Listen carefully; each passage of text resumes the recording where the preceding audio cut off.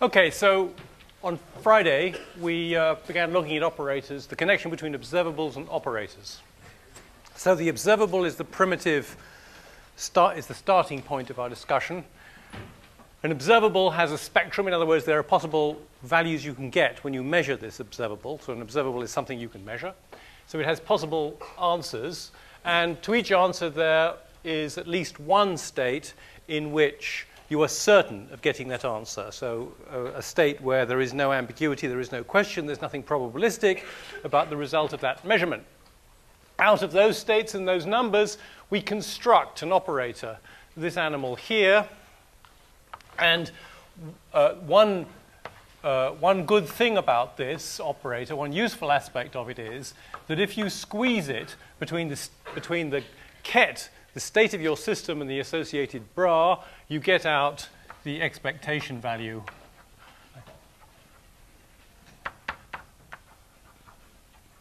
of the observable Q when we're in this state. So when there is uncertainty and the result of the measurement is probabilistic, which normally will be the case, for most states will be the case, then this simple algebraic formula we showed last time, I think that's where we finished, that that leads to the expectation value of that measurement. So that's one way in which this operator Q is useful. You'll find as we go along that there are many other ways in which this operator Q which for the moment is going to have a hat to distinguish it from the observable Q, which is a physical, conceptual thing, and the operator, which is just some mathematical fiction, who, which we're going to get used to. Gradually, the distinction will blur, but I hope when you need to, you can distinguish between the physical thing. So um, energy is the physical thing, and energy comes with an operator, which at the moment would be called E hat. Oh, well, actually, we did introduce that. So the operator E hat is for historical reasons called H, and of course it is the operator uh, sum over all possible energies of energy energy. So these are the states of well-defined energy, and these are the corresponding energies, and this is the Hamiltonian.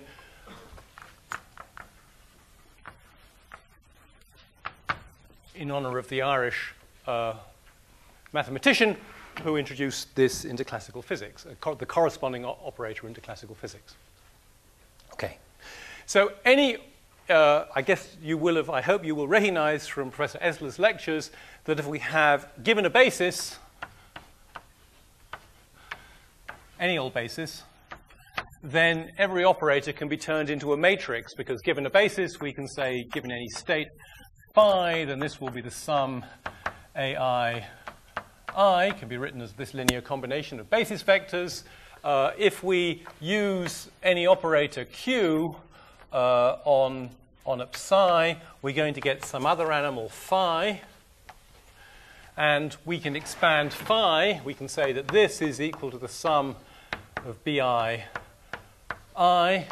And then this becomes q operating on the sum of aj j, this being summed over j, this being summed over i. All right, that's uh, just substituting in here.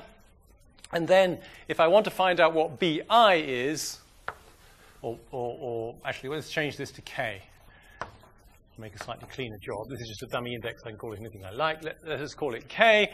If I want to find what bi is, I pick out to pick out of this sum over all the possible all the bk's. I I, of course, bra through with I. So I, I bra through with I, and that leads me to the conclusion that BI, uh, because this, on this sum we're going to have an I k here, which is going to be nothing except when k is I. So I get a BI is equal to the sum over j, the sum over I of I operator Q j times aj. Of course, this is a complex number, so, so uh, when we bra through by i, um, it doesn't get in the way because i is a linear function uh, on, the, on the kets. So we can write this as the sum over j and i of qij, aj, where qij is by definition the complex number that you get in this way by taking the jth basis vector, operating on it with the operator q, and then taking the dot product, as it were, browing through with i. So every operator can be represented by a matrix of complex numbers. And of course, any one of these things is called, any one of those numbers is called a matrix element. And a lot of, a lot of quantum mechanics, a lot of physics revolves around calculating matrix elements. So it's a word that's often used. So it's a matrix made up of matrix elements. These matrix elements are complex numbers. So if, now another, another point to make is, uh, if um, the basis I is a basis of the eigenvectors of Q. Now, I forgot to, last, on Friday already, I think we saw, I forgot to mention it just now, I think on Friday we saw that these things, well, we defined Q this way, and with this definition, it turned out that Qi is an eigenket of Q, of Q and Qi is an eigenvalue. That was a consequence so these physically important states are, as a consequence of this definition, these physically important states become eigenkets, eigenvectors of the operator Q, and these become the eigenvalues. So now we can say something different. We can say Q is constructed out of its eigenkets and its eigenvalues in this manner. Whereas previously we had a physical statement that the operator Q was constructed out of the states in which there's no ambiguity as to the measurement and the possible results of the measurement. So if we use the eigenkets qi as our basis vectors, then this matrix becomes very simple. Then qij uh, is going to be, of course, i, q, well, I'm going to put this in as qi, qj, but q on qj is necessarily qj times qj. This is, uh, so this becomes qj times qi times qj. But this is delta ij, so this becomes qj times delta ij. So these matrix elements vanish unless j is equal to i. When j is equal to i, we get the number qj. In other words, in this basis, q is represented by a diagonal matrix.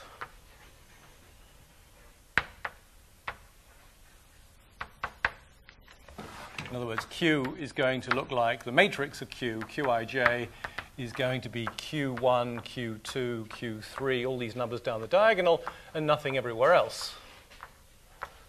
And so on until we're bored. Or run out, more to the point, run out of possible um, states in which Q has a well-defined value. Okay. Um, as a result of that, uh, if we do um, if, if, we, if we take the complex conjugate, no, no, no, better not do this. Um, yeah, all right. No, if so, so the Hermitian adjoint. I think from I, I'm going to take it that you remember this from Professor Essler's lectures. Hermitian adjoint of Qij of Q, sorry, the matrix Q now we've got three things now. It's a bit confusing, isn't it? We've got a physical quantity Q, like the energy. We've got an operator Q hat. And we've got a matrix, which is in one particular set of basis vectors, is representing the operator. So I'm a little bit short of notations. I've got a Q and a Q hat, but uh, I will, uh, I'm tempted to write, to write Qij which sometimes means the particular complex number that you will find in the ith row and the jth column of the matrix Q. But sometimes we use this notation Qij to imply the matrix that represents Q. Do you see that there's a, there's a slight overbooking of notation here, and it's, it's, it's universal uh, um, in, in, in, in, theoretical physics. You, you can't, well, nobody has a natty way of distinguishing, distinguishing between the matrix and the, and the matrix elements. So let me just write the matrix Q. So the Hermitian adjoint of the matrix Q uh, is, is Q dagger, and Q dagger is defined so the ijth element of it is equal to, is the complex conjugate of the jith element of the matrix Q, right? This means the complex conjugate. Uh, so, so the Hermitian conjugate is you, you take, you know, you swap rows and columns and you take the complex conjugate. That's what happens with the individual elements. So let's see what happens uh, here. So we, we can, this property doesn't depend on what basis we look at it in. So let's have a look at it there. So, so what is this? Qij, so in the basis, in the particular basis of the eigenvectors of Q, what does this statement become? Um, it becomes that Q dagger ij is equal to, we've figured out what, that, what qji is. qji turned out to be q up there, i um, delta ji, or delta ij, it doesn't matter. Right, that's what we found. So that's qij in this particular basis, and now I, sorry, ji, I've swapped, I hope I've swapped it over. And now I take the complex conjugate, if if qi is real, then this becomes qi times delta ij is equal to qij. So, the Hermitian adjoint of q will be q itself if it's possible, if all the elements in its spectrum are real. And traditionally, people have, have um, said it's obvious that an observable is a real number. And I remember as an undergraduate thinking, hang on a moment, that's ridiculous. The impedance of a circuit, right, is something that I have to measure. You know, it might be something you do in one of the, you might have done last year in some of the electronics practicals, measure the impedance of this circuit at this frequency. It's clearly a complex number. So it's nonsense to say that observables have to be real. Of course they don't have to be real. But if they are real, then the observable will be represented by an Hermitian matrix. So, so if the spectrum, the spectrum is all real, then Q hat is Hermitian.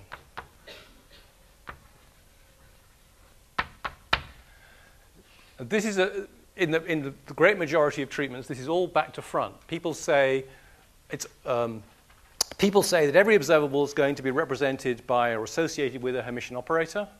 They then use some well-known theorem, which I'm sure you've met, which says that every uh, Hermitian operator has real eigenvalues and orthogonal eigenkets. And then, therefore, they say the eigenkets of these things are orthogonal. That's not the way, actually, the flow of, of the logic of the the, of the flow from the real physical world into the mathematical world works. It's the other way, it's the real argument is that the eigenstates in which the, the states, sorry, the states in which Q has a well-defined value have to be mutually orthogonal because why? Because Qi, Qj, this complex number is the amplitude to get Qj given qi. And if you know that the result of the measurement is going to be qi, this, this amplitude has to vanish for any qj not equal to qi. So this orthogonality comes in as a physical requirement of the way we want to use the theory. Then, if the eigenvalues if this, uh, are all real, if the spectrum, the possible results are all real, then you end up with Hermitian matrices, right? But there's no need to be working with Hermitian matrices if if you want to work with the complex impedance as your observable. That's not required. But what you do need is this orthogonality result. That is a, that is a consequence of, that's a logical necessity of the way we want to interpret the mathematics. Okay. Now we can, of course, multiply operators together. So ooh, something else we can do with operators is we've got two operators, R and Q, we can define this animal by the rule that this multiplied object operating on any state of psi is simply the result of using the operators in the sequence given. That is to say, you use, you use Q on psi first, which makes you some ket, which you then use R on, etc. And when we, if we choose to look at this, if we ask, well, so what's the matrix of RQ? So what's the matrix of this in some basis, in any basis now? It's going to be I, R, um, what does this mean? It means RQ J. Um, and into here, we can stick one of our identity operators, the sum over m of m, m, right? We saw on Friday that this sum is the identity operator. You can stick an identity operator anywhere into a product, and then this becomes uh, i r hat m m q hat, whoops, j, and this now needs a sum over m. And what is that? This is RIM, this is QMJ, so this is just the usual rule for a matrix product. So it's RIM, QMJ. And we will want to know um, what the Hermitian adjoint of this thing is. We'll want to know what R, Q, dagger ij is. And so what is that going to be? It's going to be i r hat uh, do I want to do this? I think I probably don't. I think probably you've seen this done. I think what I what it will, you've seen this done in the math physics lectures this year. So I think we can just remind you that this is q hat dagger r hat dagger, right? The, when you take the Hermitian adjoint of a product of operators, you reverse the order of the, of the things in the product and dagger the individual bits. And I, I hope you've seen the demonstration. You'll find the demonstration in the book. If you don't, um, if you haven't seen the, you don't recall the demonstration from Professor Essler's lectures. And this is all a bit dry and boring, isn't it? Okay, one thing you may not have seen is functions of operators.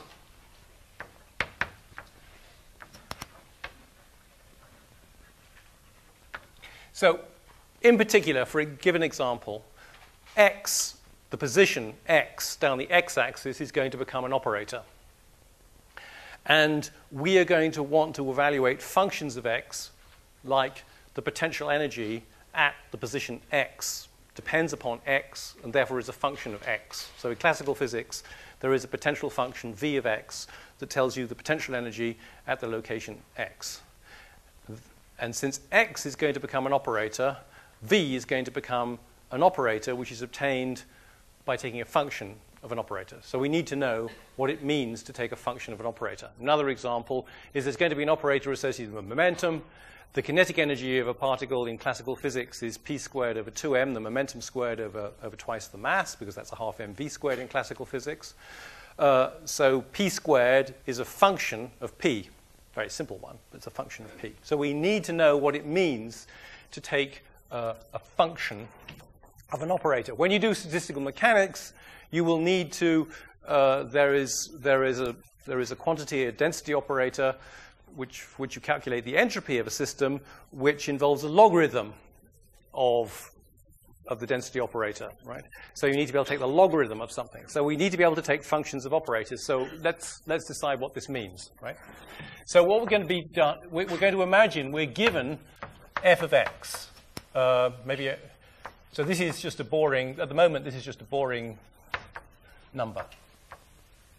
Suppose we're given a function, this is a boring number, and that's a boring number, right? I'm just giving an ordinary function of a, a complex valued function of a complex valued number, say, right? And let's imagine that we can Taylor expand this. So we can write this as f naught, the value that f takes at naught, plus f1 of x, the first derivative, right? Plus a half f2 x squared over 2 factorial. This is the second derivative plus a third, sorry, 1 over 3 factorial, a sixth, f3 x cubed, whoops, over 3 factorial, etc. Just so we're going to imagine that make, we're going to imagine that our function can be Taylor series expanded. In detail, it might be, not be possible to expand it around the origin, but then we can expand it around some other place in some little neighborhood.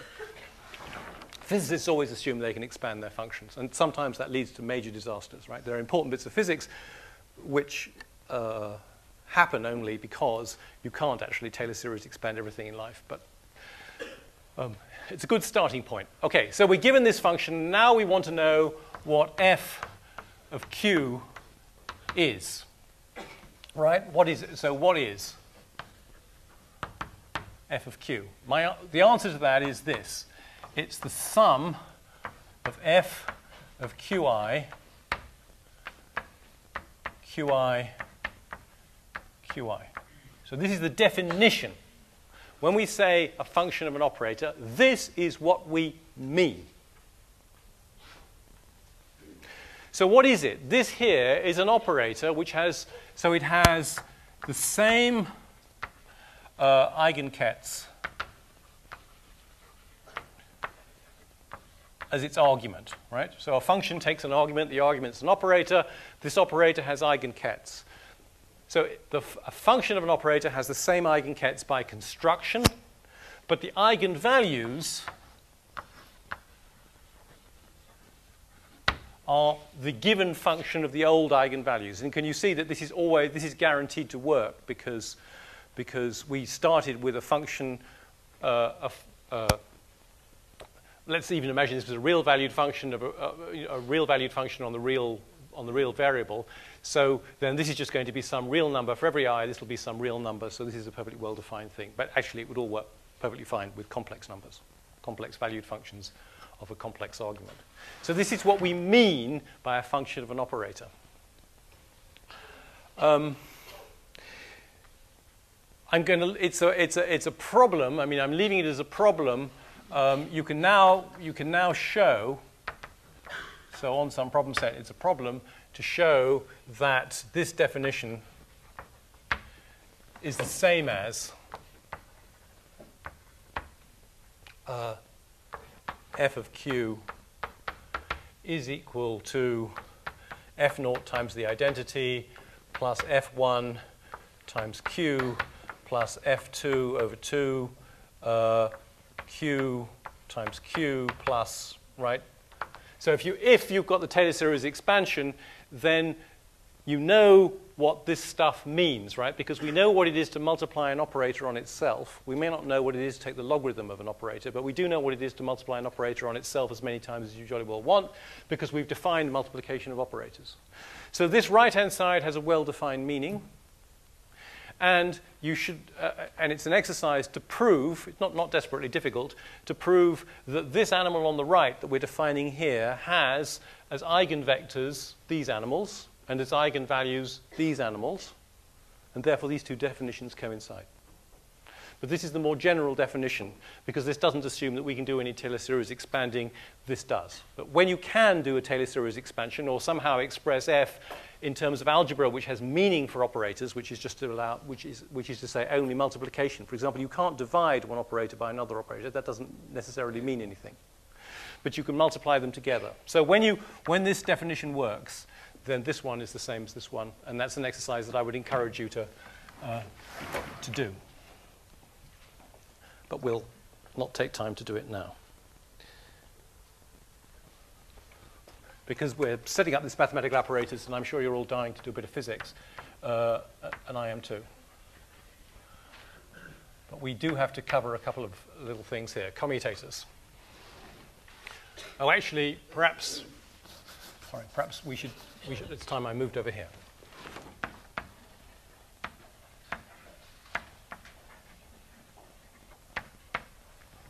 Okay, so the, in some sense, the big news with operators is that A hat, B hat is not necessarily equal to B hat, A hat. You know this already in, in as much as you know that matrix multiplication uh, doesn't commute generally. So when you're multiplying matrices together, you don't expect the product this way and the product that way to agree. And we've agreed that operators, once, once we take a particular basis vector, system of basis vectors, um, can be represented by matrices, so it's not surprising that there is this non-commutability. And the elementary text claim this is the key thing about quantum mechanics. I claim this is not the key thing about quantum mechanics. Non-commuting things occur also in classical physics, and we'll see, we'll, we'll, we'll see that concretely as we go down the line. However, it is a fact that these operators do not commute, and we, and we spend a great deal of time calculating this animal, which is, which is AB minus BA. Okay, so the definition of A and B, A comma B in a square bracket, is that it means just this. Now, uh, we have some obvious results. We have that A comma B plus C, the com commutator of A with B and C, B, the result of adding B to C, is clearly the sum, uh, from this definition it follows that it is just this sum.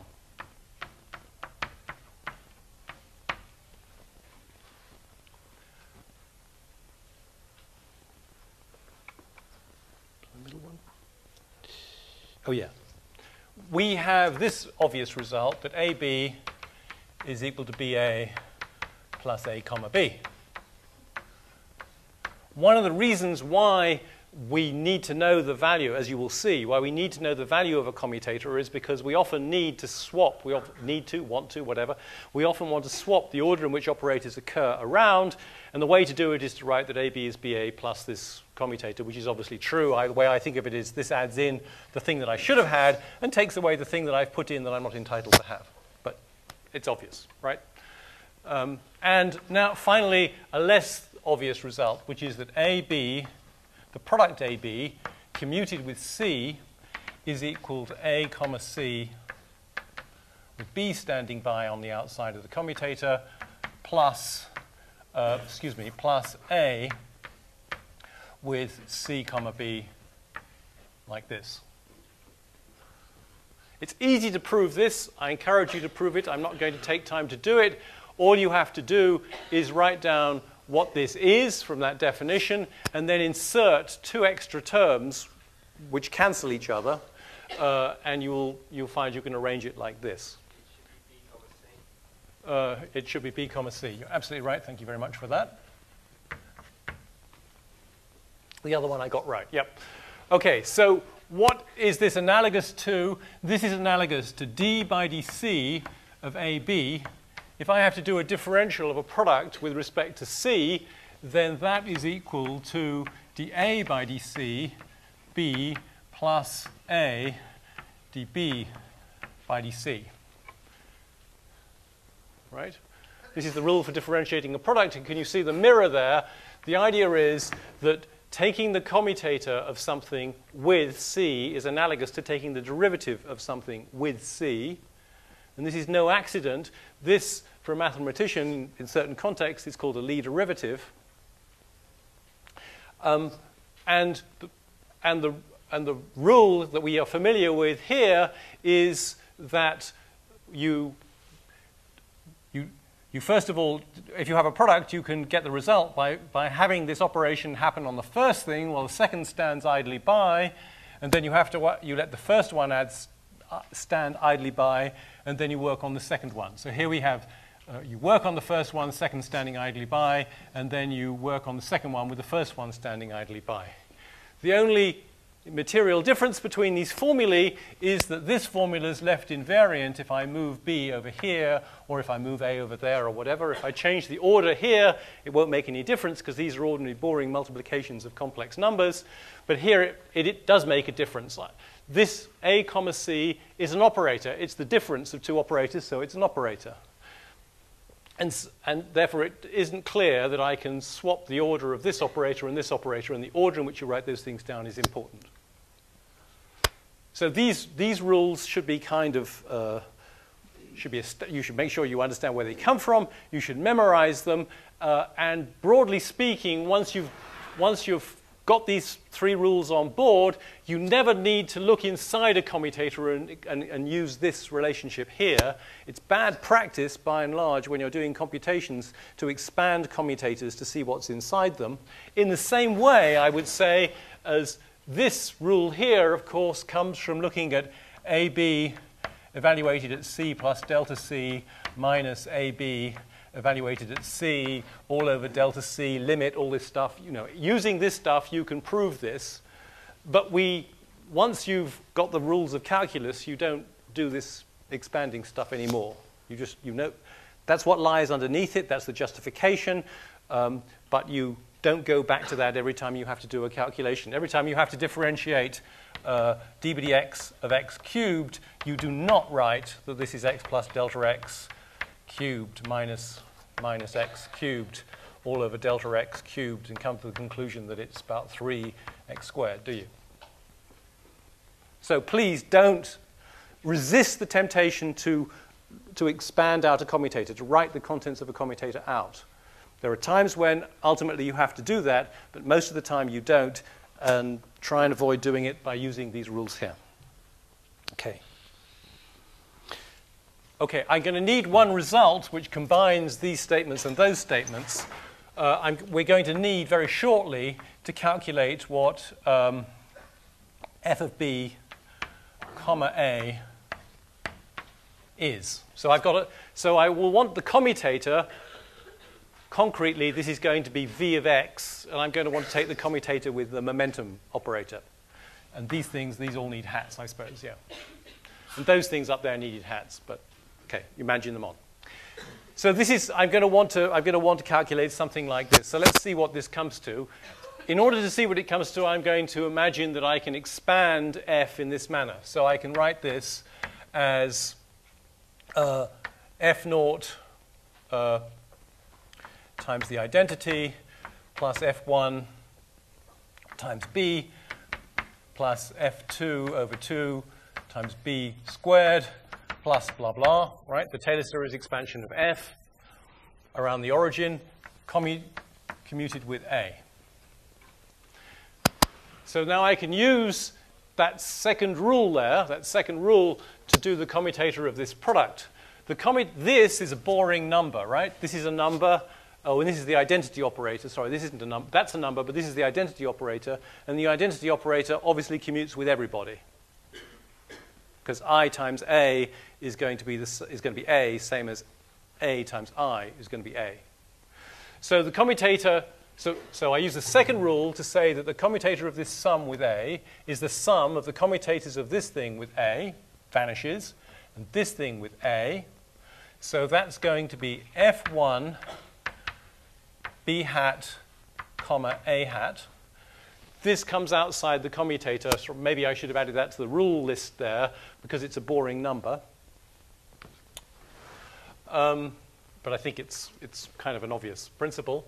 Uh, plus f2 over 2 factorial of b hat squared comma a plus f3 over 3 factorial b hat cubed comma a plus, plus, plus, plus, plus, plus, plus, right, till you're bored.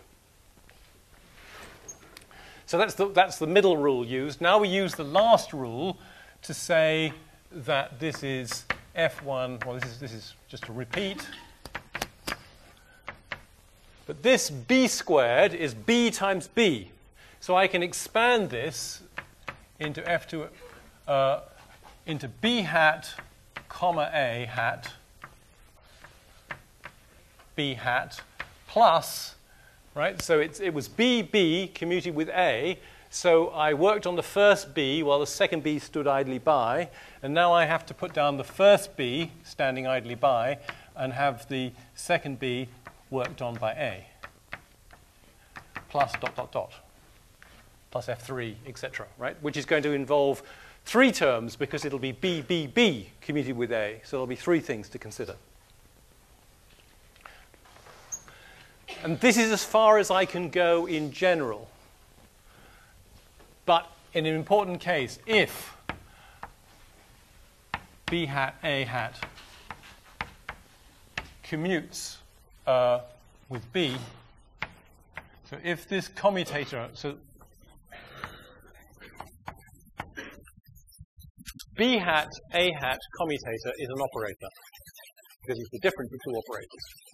So if this operator commutes with B hat, then this B comma A and this B comma A and this one could all be taken outside and I have, the, so under this condition, that f of b hat commuted with a hat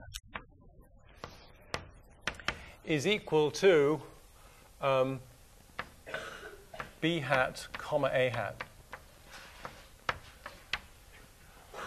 times f1 plus f2 plus, and you, can you see it'll be f3 over 2 because the F3 would have been over 3 factorial, but we would have had three terms.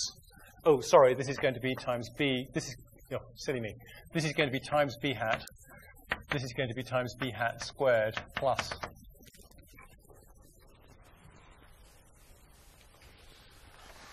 So this is what this will all reduce to, which can be more conveniently written as, as df by db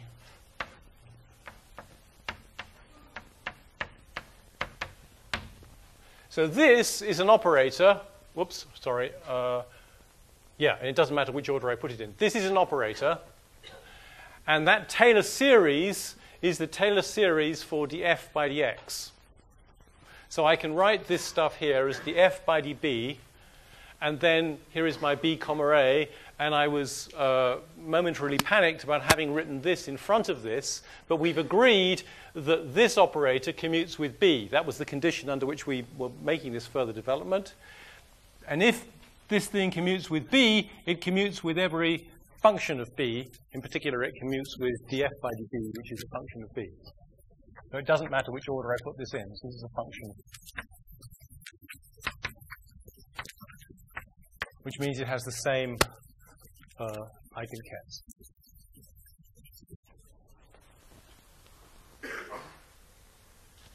So that's a result we're going to want, and there's one other thing that now needs to be discussed,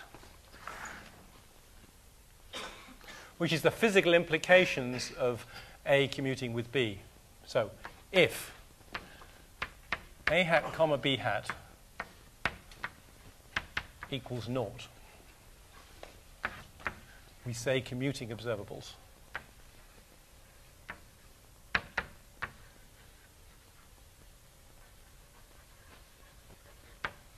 Then the mathematicians assure us, we have a theorem, and the theorem is that in this case,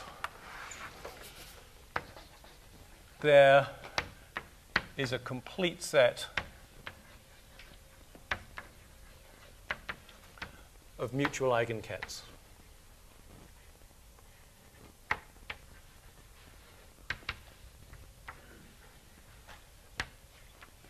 we'll call these mutual eigenkets just I. That is to say, for each and every one of these, it is true that A hat on I is equal to AI I, and simultaneously, B hat on I is equal to some number BI on I. When two operators commute, there's a theorem that says this. What does that mean for the real physical world?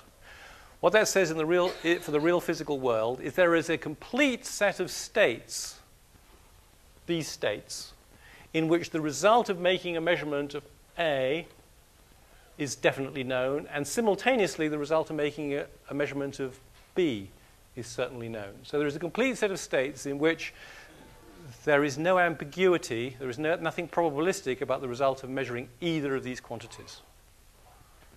It's very important to bear in mind that complete. We're not merely saying that there is a state or 10 states with this property. There are enough states with this property that any state can be written as a linear combination, uh, whatever, GI, of these objects, right? They're complete. That's what completeness means, that any state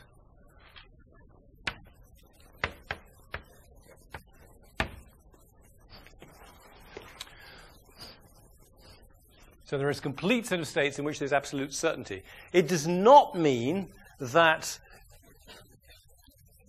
the, the fact that I definitely, that there's no uncertainty in the value that B takes implies that there's no uncertainty in the value that A takes. That is not, that does not follow from the commuting of A and B, as we will see. It, um, it may well be the case that there are states in which B definitely has a value um, for which A, the outcome of measurement of A, is uncertain. So, so the, the result of two observables commuting, their operators commuting, uh, is slightly technical because it involves this complete statement. It is that there is a complete set of states uh, in which the outcomes of the measurements of both observables are certain. Okay, now, uh, if a comma b not equal to 0, what does this mean? All it means is that there is at least one ket such that a comma b there may be an infinite number of kets such that AB operates on them and produces nothing. But there is one, there is at least one. If you say that these operators don't commute, you're saying, you're asserting that there is at least one ket where the commutator uh, operating on it doesn't produce nothing.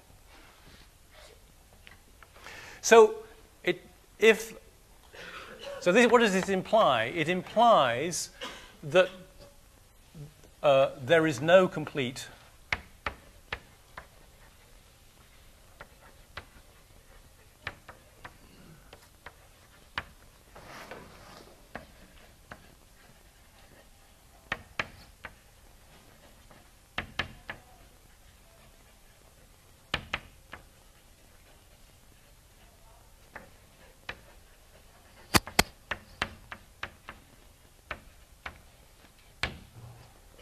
So it's a, it's a very weak and not emotionally striking result that there it just isn't a complete set of states in which they're both they both have definite values. There may be a very large number of states in which they do have definite values simultaneously. So it is not a statement that you can't know the value of this simultaneously with the value of that. We'll come across a counterexample um, next term, I guess, a very important counterexample. So don't run away. It's a very, it's very, very widely held misconception that, if two operators don't commute, you can't know the value of the one and the, and the value of the other. That's just not true. The statement is that there isn't a complete set of states with that nice property.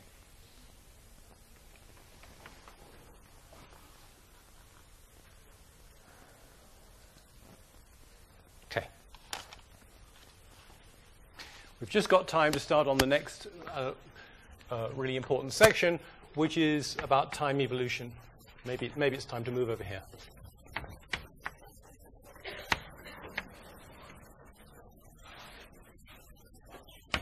Okay, so physics is about prophecy. It's prophecy that works. It's about predicting the future. That's what it's about. And the, therefore, the core of it is equations of motion. Newtonian mechanics we think of usually as to do with F equals ma. It's it's making a statement of what the acceleration is. When you can calculate the acceleration and you know the, and you know the initial position and velocity, you can predict where your, where your missile is going to be at some future time, where your planet's going to be at some future time, and so on, right? That's what it's all about. So at the core of quantum mechanics sits its time evolution equation, and I'm not going to immediately justify this. I'm just going to write it down. It's the time, whoops, the time dependent Schrödinger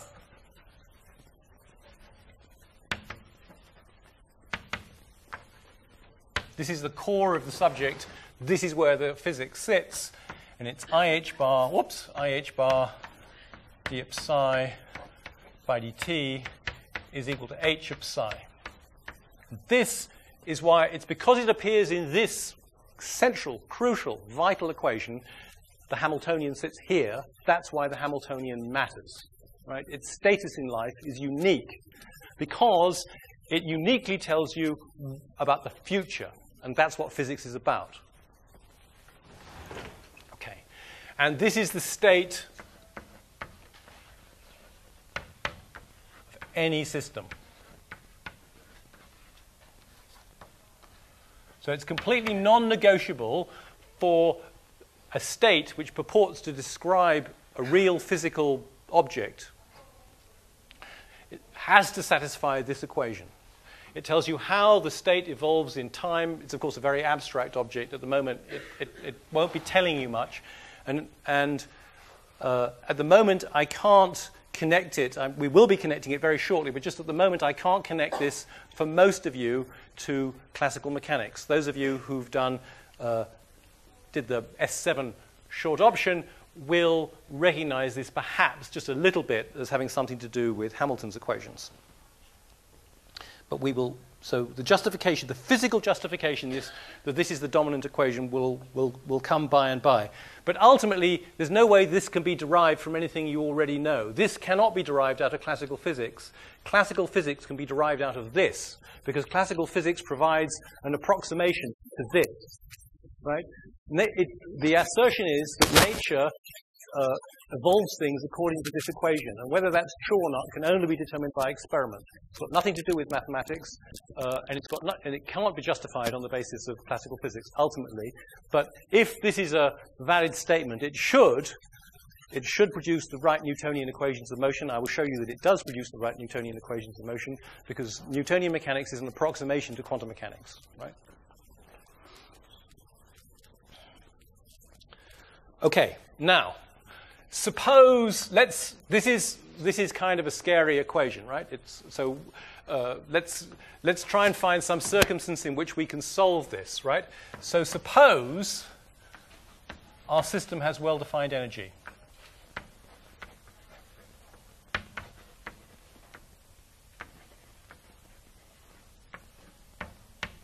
In other words, the state of psi uh, at time t well, the state of psi, uh, is equal to E, where H E is equal to E E.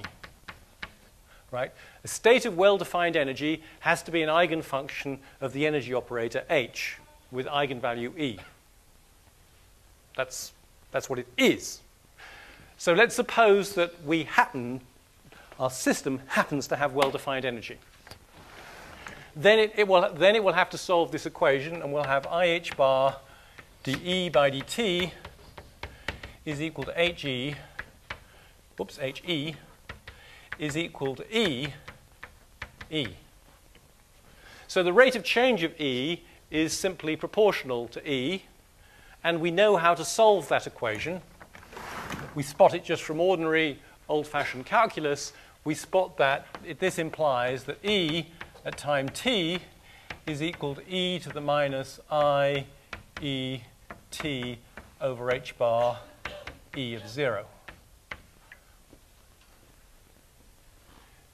So I, I, feel, I feel entitled to write this down on the basis of just boring classical, classical mathematics, which says that, that if we know that dx by dt, no, I shouldn't do it there. If I know that dx by dt, where x is some variable, is equal to ax, that implies that x of t is equal to x of naught e to the at, right? So this result, familiar result, inspires me to write down that. I can now trivially check by differentiating this right-hand side that it satisfies this differential equation, right? Because when I, because when I differentiate this right-hand side, this thing is not a function of time. It's the, it's the value that the state of well-defined energy takes at time t equals naught, so it has no time derivative. So the time derivative comes merely from this, which is a totally boring exponential of a bunch of real numbers. Well, with, apart from the i. All right? So we know how to differentiate this. So it's easy to evaluate the time derivative of this, and it's trivial to check that then, it's, that then E satisfies this equation. So what does this tell us? This is a very important result. It tells us that the time evolution of states of well-defined energy is really dead trivial. They basically don't change. All that happens is their phase goes around, it increments at a constant rate E over h bar with a frequency E over h bar, which is, of course, incredibly, for typical systems like this, is incredibly large because h bar is so small and it's on the bottom there. So this frequency is stupendous for an object like that. So this thing has some energy, and its wave function is zooming around at some hysterical rate. That's all that's happening. The beautiful thing is that this enables us to solve uh, the general problem, because if I have, uh, if I have a psi I want to solve, so I've got now some system that's not in a state of well-defined energy, and we'll see that real systems never are in states of well-defined energy, but then I can surely write this as a linear combination with coefficients that depend on time of states of well-defined energy. Right? These are a complete set of states because they're, yeah, they're, we've been through this. This is just boring, right? So I can put, I simply put this ansatz, this expression, this expansion into both sides of my time-dependent Schrodinger equation, and we discover that, that we discover that IH bar d psi by dt is equal to IH bar brackets. We have to differentiate this stuff, so it's A n dot uh, ENT plus A n times the time derivative of this, uh, times the En by dt. What's that equal to? That's equal to, on this side, h uh, into the sum an en. I've missed out a sum over n. Indeed, I have. I've missed out a sum over n, thank you, just about here. I'm kind of conscious of that horrible clock. Um, and, but, uh, well, okay, why don't we um, uh, just write this, why don't we just write, carry this on and write this as the sum over n of a n h e n. But this term, this term here cancels this term here, ih bar an so IH bar den by dt is hen. So these terms all cancel those terms, leading to the conclusion. Um, so when I, when I look at this stuff is equal to this stuff, I've cancelled this, so the right side now says nothing, and the left side has this stuff, has a dot, so I've got the conclusion that the sum over n of an dot en of t uh, equals naught, bra through with a, an ei of t, and that leads to the conclusion that ai dot equals naught. So the a's, the ai are constant. So we have a solution. This enables us to to write down the solution to the general problem, we have that psi of t is equal to the sum of some constants, an, which you can determine from the initial conditions, times en of t. But I can explicitly write that out because I know how this thing evolves in time. This is the sum an of naught e to the minus i en of t, ent over h bar times En of naught. So once, now, so this is the really, really, this is a fabulously important equation. So this part of it is. Needs to be burnt into the back of the retina, and it, it's the key to everything, because it tell, and what it tells us is, once we know what these states of well-defined energy are, and the approved energies, we can trivially evolve in time the dynamical state of our system and predict the future. We have everything. That's it. So a large part, a huge part of this subject revolves around finding what these states of well-defined energy are because they have this enormous predictive power. They are their miracle, their, their sort of wonder drug. They solve the problem. They do it. So we'll talk some more about them tomorrow.